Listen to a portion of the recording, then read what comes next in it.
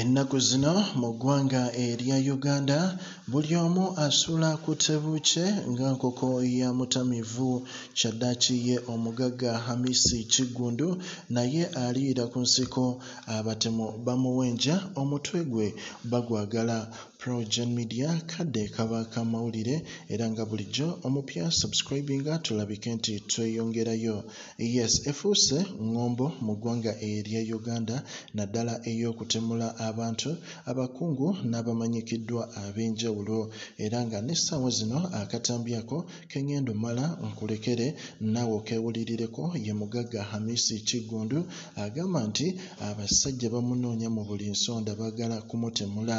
Naye avuddeyo n'alaama n'agamba bwe banzitanga abantu bange temusirikanga mulina okukola kye bayita okuwoolera. Ka nkulekere akatambi ate mutu naawe weewulirireko ku Progen Media. sinnakiiro sobola n'okujja mu bulamu bw'ensi. Era mwenna mukiraba kati abantu basinga bafa nga tebuugiddi ne bano abantu mubulaba amaanyi ge bakolesa basobola n'okunzita. Naye abantu bange bonna bannayuganda benkolesa nkolesa abantu abasoba omutwalo gumu n'ekitundu i have close to a million people dependent on me. Kintu kyonna kyonna ekimbaako don't stand back.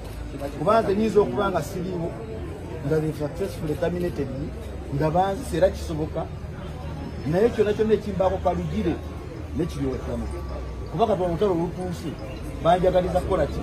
Okufa. Ate nga nnwanira ki? Gwanga na gwanga lyange kati ekyo muyinza okkirinda saa yonna naye nze ng'omusajja omusiraamu allah yagira naba banzisa era tebyewaananga nti banzi kitegeeza entuuko yange ebeerekoze eba etuuse naye allah kuuma ssebo haji allah kuuma ensonga gy'oliko ya uganda kwiyungu